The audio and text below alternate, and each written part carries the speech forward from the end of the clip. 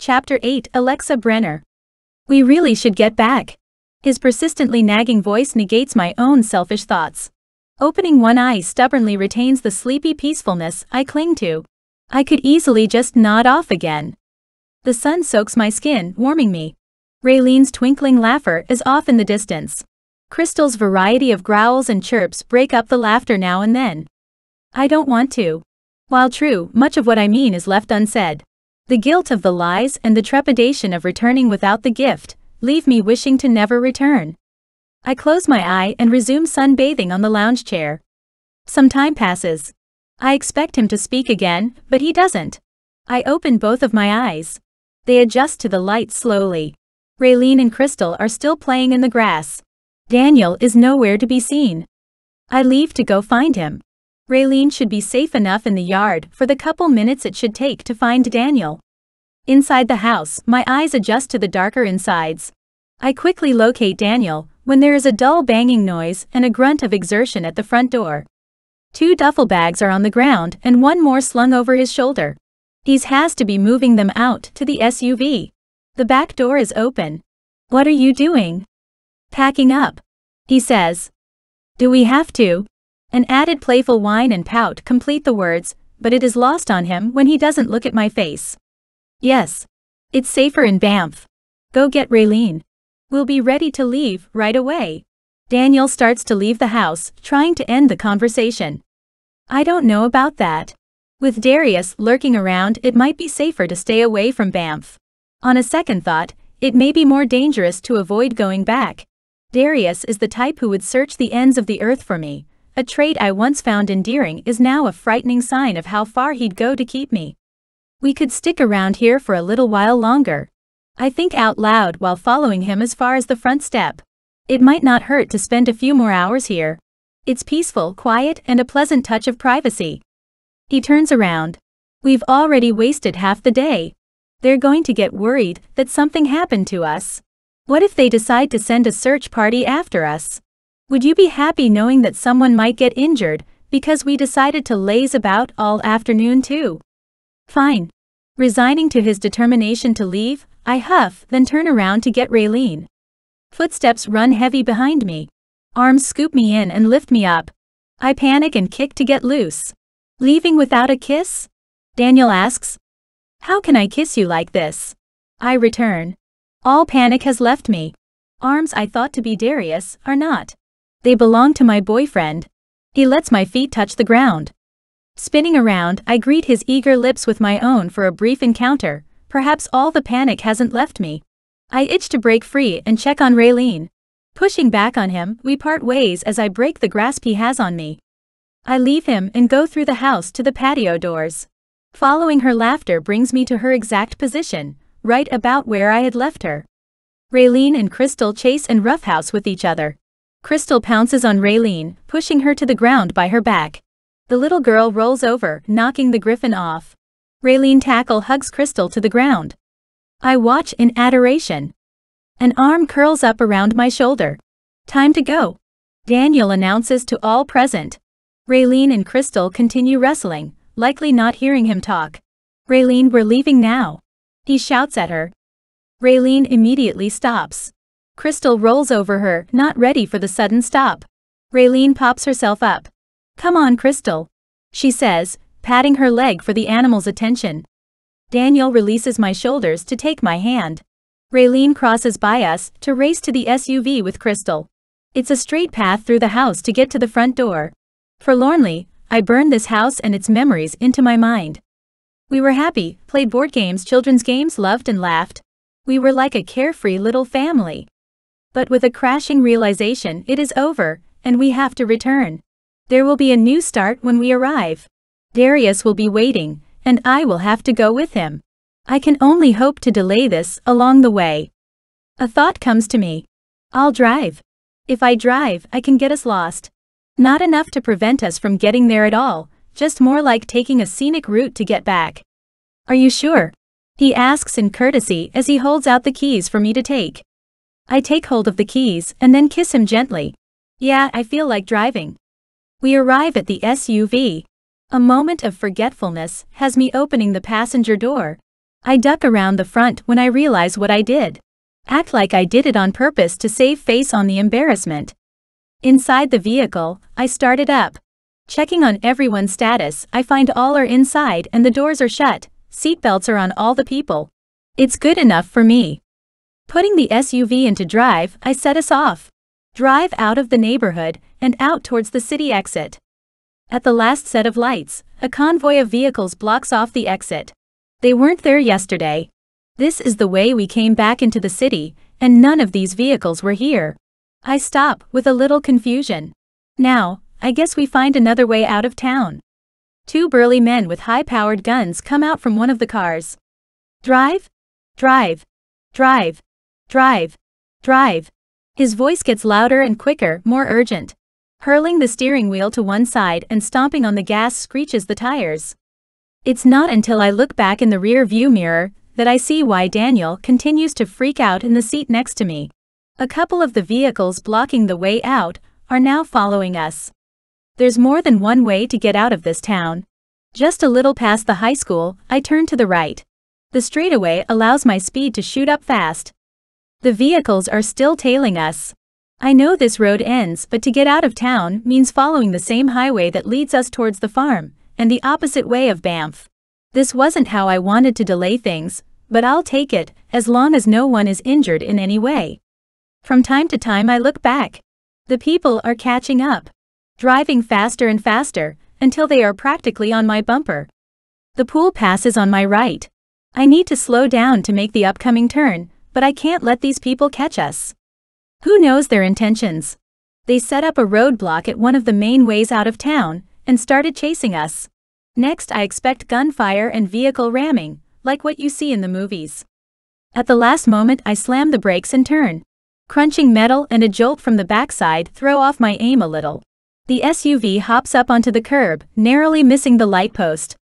I hit the gas until all wheels are up on the side of the road. Veering back to the road, we take off fast. Once control on the SUV is in hand, I look up to the mirror. People from the second vehicle are rushing out to the first. Terrifying and exhilarating as the whole chase was, I am glad they stopped following us. Adrenaline keeps my fingers and legs twitching. My speed remains naturally high with my foot-like lead. The familiar road is the same one we would take to get back to the farms. Turn right down that road. His words bring me back to reality. What? I ask dumbly. Turn right. Down that road. Daniel instructs. He points down the road he means.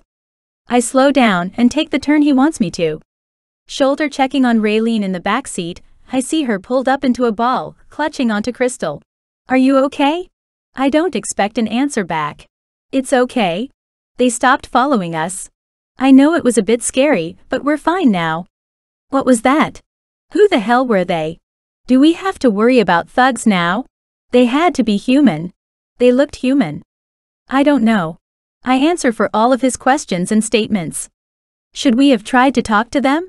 Daniel asks. I don't know, but probably not. They didn't have to chase us, but they did. They might have robbed us or worse. I offer. They wouldn't have good intentions with actions like those. Right. He answers. We drive in silence as a ways before he gives instructions again. Turn right up there. It'll connect to the QE2. We fall silent. I pass glances to each of my travel companions through the journey. Raylene eventually slowly uncurls and falls asleep. Crystal weave through her legs.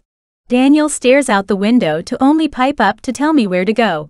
His instructions create a barrier between my plan and putting it to reality, stopping me from losing our way and delaying our arrival. The bright day turns to a red dusk as we drive into town. We are met with the oddest of sights as we near the big field not far into the city. Mounds of black are sprinkled in the field. One bonfire burns near the center. What are they burning? I ask out loud, mostly to myself. Pull over. Daniel quietly says.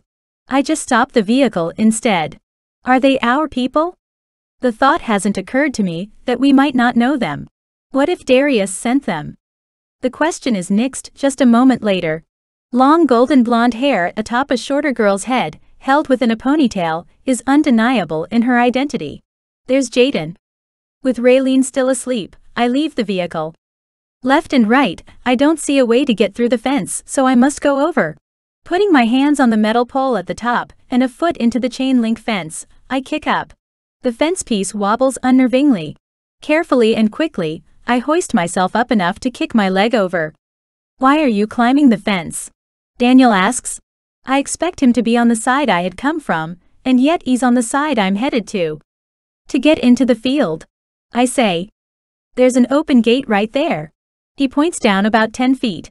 Now that I am on this side, I can see the opened gate clearly. Well, I didn't see that. I admit. Pulling my other leg over, Daniel grabs a hold of my waist. He supports my weight, so I let go and let him bring me to the ground. Thanks.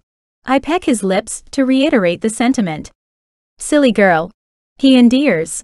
You always have to do things the hard way, don't you? I brush off the tease to walk towards the events. Looking over to where Jaiden was, I call her name, Jaiden, loud enough for her to hear. She turns around and looks. When she spots us by the fence, she walks to a person nearby. Taller than her, with black hair up in a bun, it must be Leah. When she turns around to look over at us, I confirm suspicions. At least two people made it back from our trip. I don't see the other three yet. Jaiden walks over. She has a neutral look, as opposed to her natural smile. Hi. Ah. Uh. She looks over at the fire. What's going on? I ask, impatient for the answer. Jaiden looks back at me and bites her lip in the corner, with an eye tooth. They were attacked while we were gone. Brad and his group of extremists started the attack because they said a supernatural being attacked them. Turns out that Darius initiated an attack while we were gone. Every human here died with no exceptions. They killed some of the supernatural beings here too, those who didn't want to join them again. And whoever hid well enough or weren't here got to live. My heart is struck and my body quakes. Who? Only the one word makes it through my lips.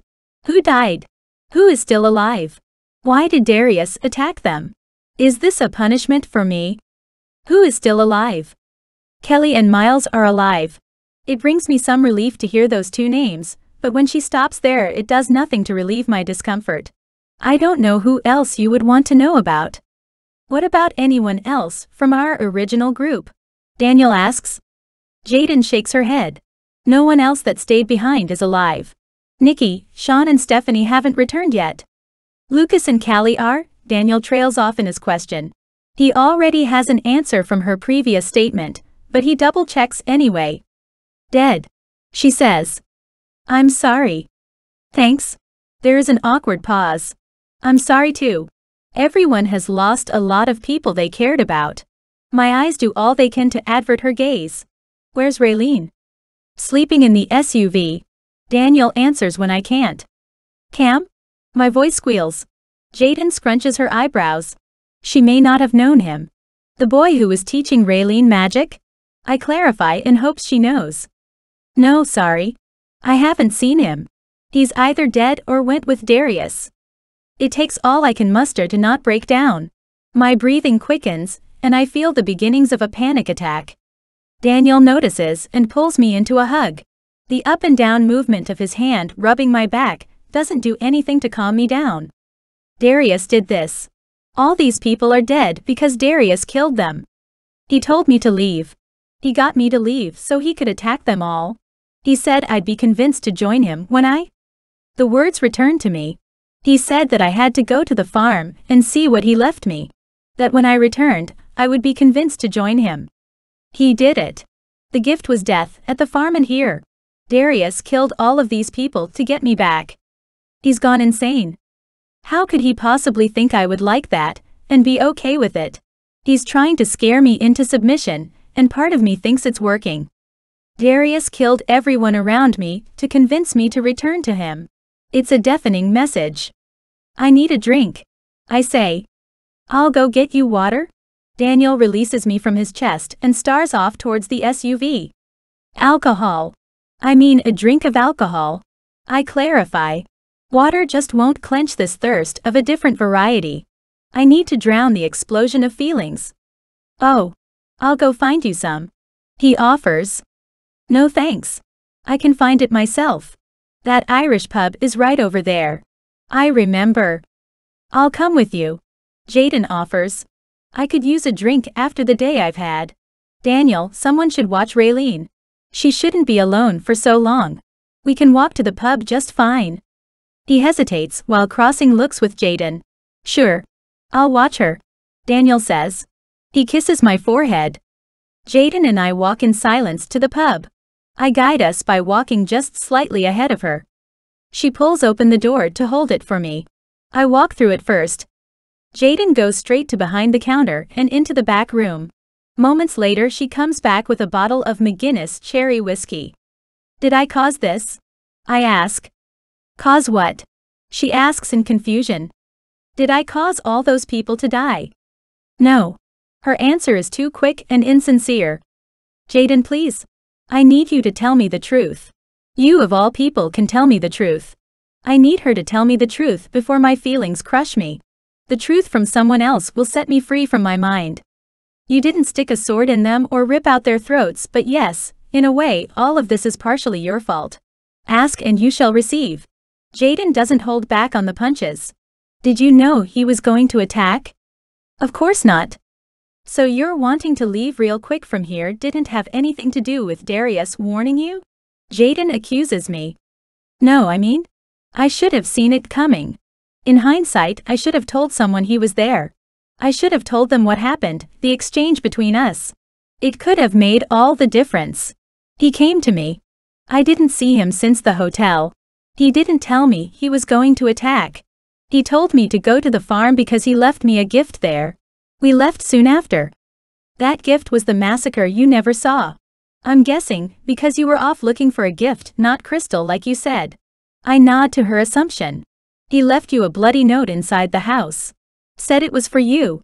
Darius killed everyone there for you, then came here to get you to go see that, then while you were gone and safe, he killed everyone here.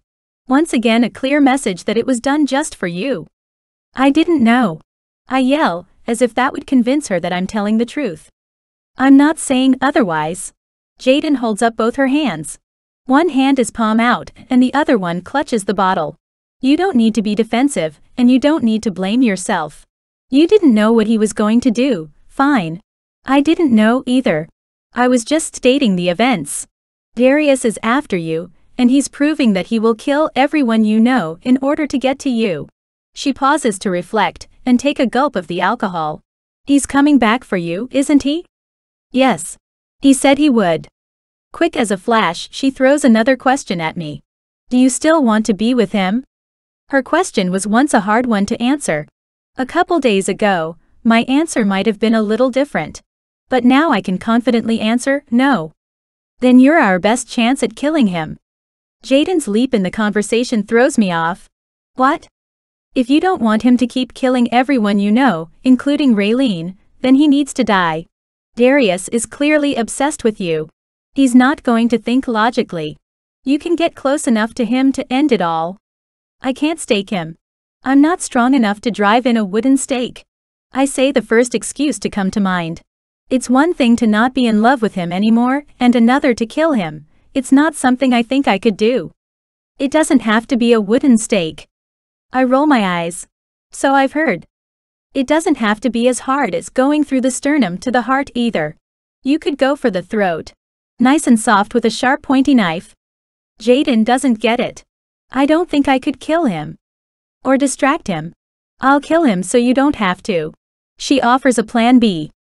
How? I want details.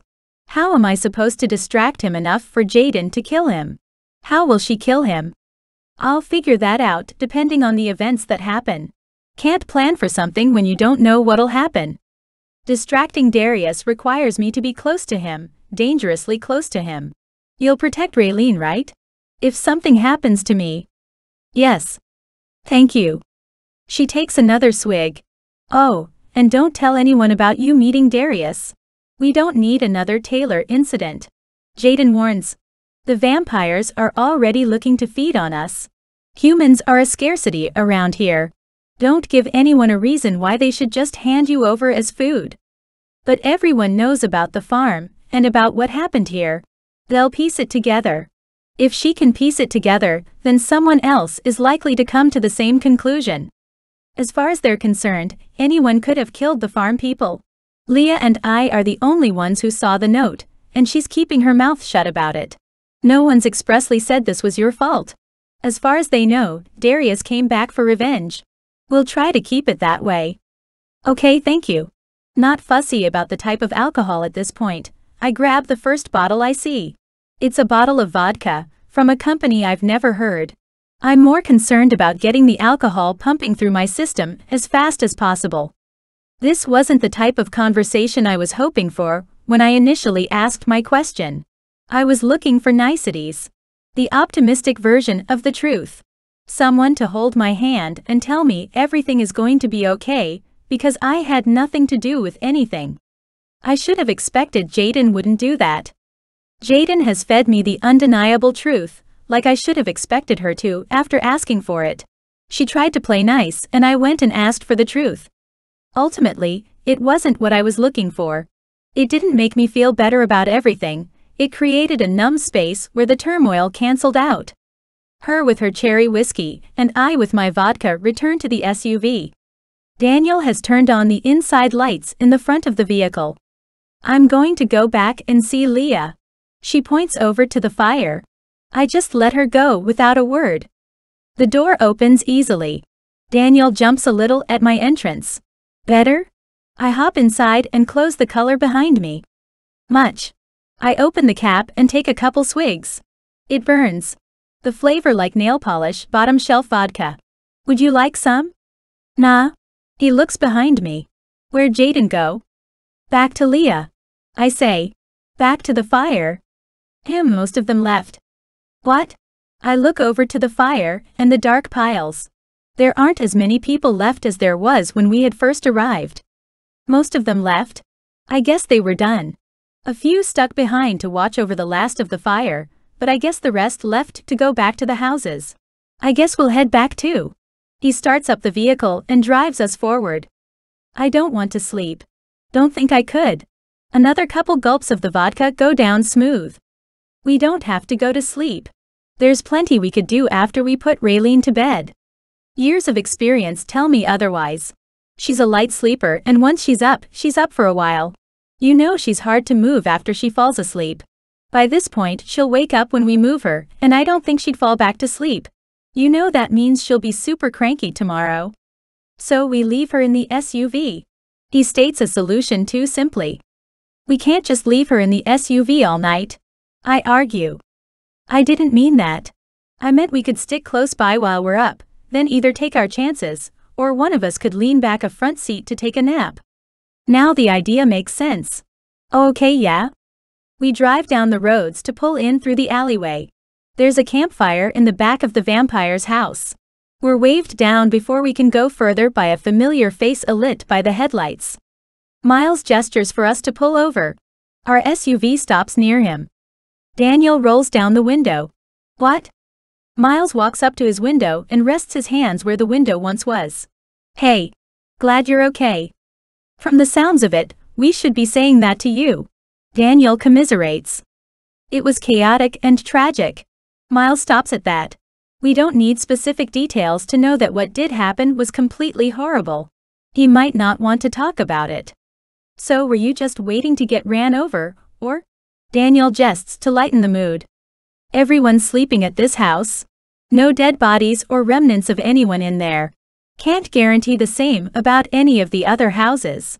Miles informs us of the change. I look to the house. The vamp house may not be the safest place right now.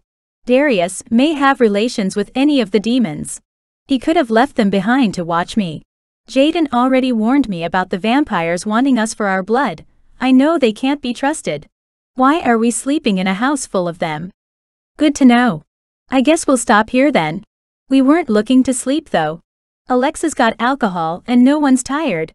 Except Raylene, but she's already sleeping in the back and we don't want to disturb her. Kelly's two trucks up. Miles looks over to where he means.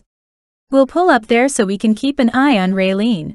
Daniel waits until Miles takes just one step back before taking his foot off the brake. He lets the SUV coast forward until we parallel the truck. There isn't much room on either side of our SUV. We park and exit, me with one last glance at the sleeping girl in the back. Raylene looks peaceful. Crystal coos in a sort of acknowledgement in our departure. How'd you beat us back? Daniel yells, astonished.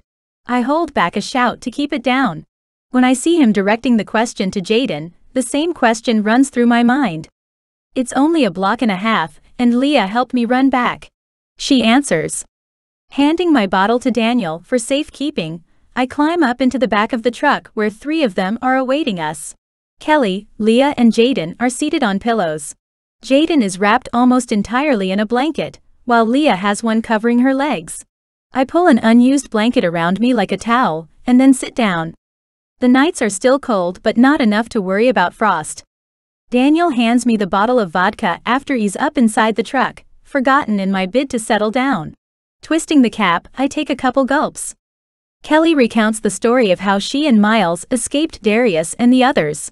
She tells the story as an epic telling, but it could have easily been summed up as a tale of running, killing three people, and hiding in a basement for a few hours. Done her story and her drink, Miles gets up to go to the corner of the open tailgate with the box of coolers. He takes the whole box. One bottle is handed out to each person. I take mine and open up the top with my palm taking a drink of the liquid inside.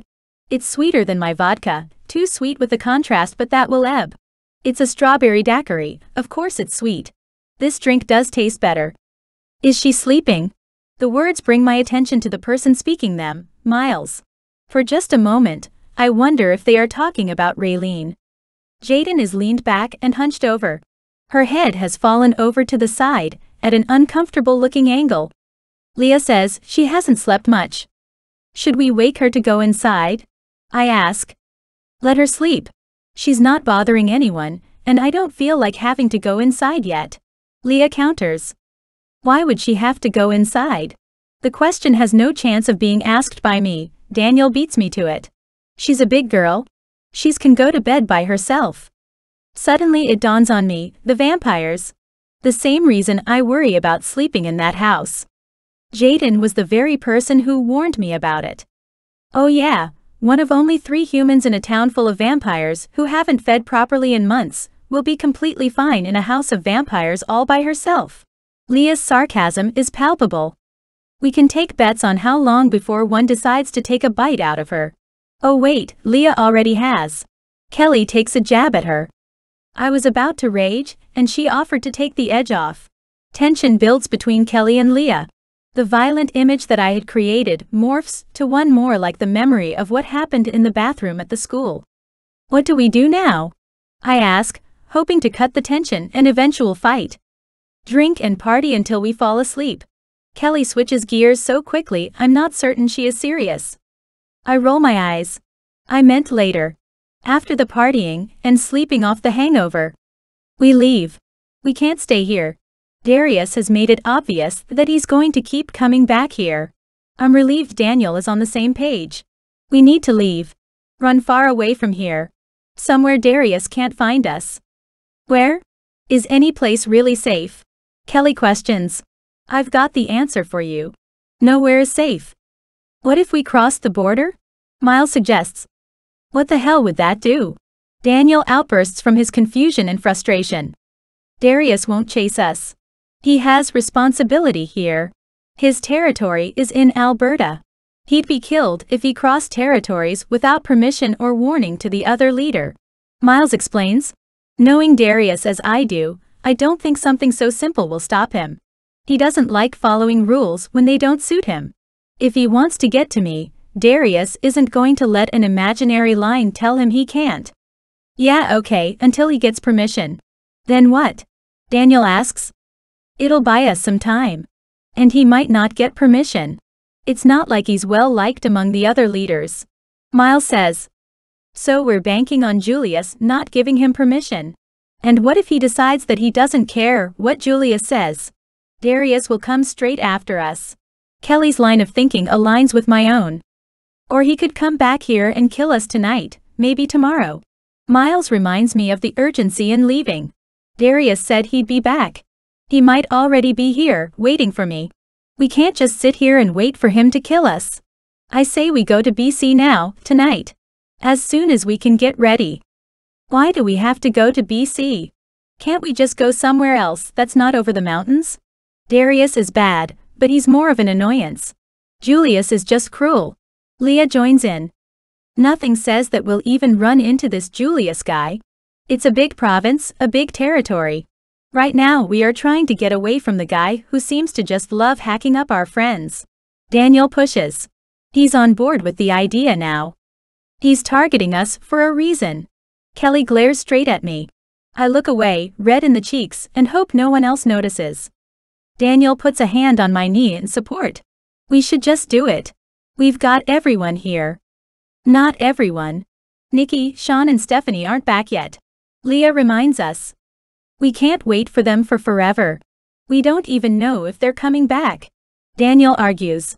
Jaiden pissed off Nikki, so I wouldn't doubt if they decide to stay away.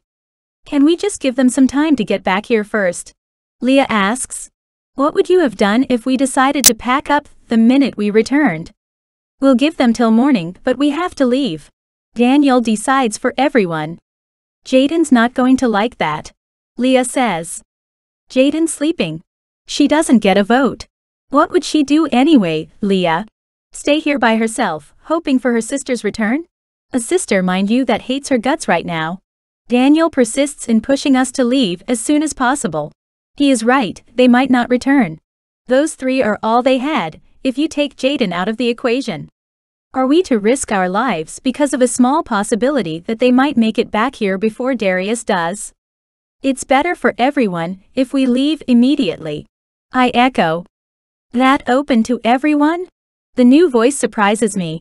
D'Angelo makes himself known along with five other people. Of course.